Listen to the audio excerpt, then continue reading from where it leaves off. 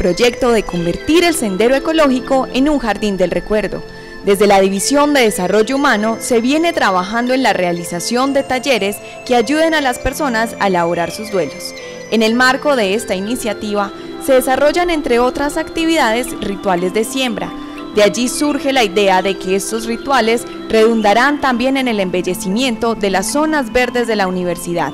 La propuesta se centra inicialmente en el sendero ecológico, pero se espera que germine en otros espacios de la institución. Dona una planta, apoya a alguien de la sociedad universitaria a elaborar su duelo y participa en la construcción del Jardín del Recuerdo.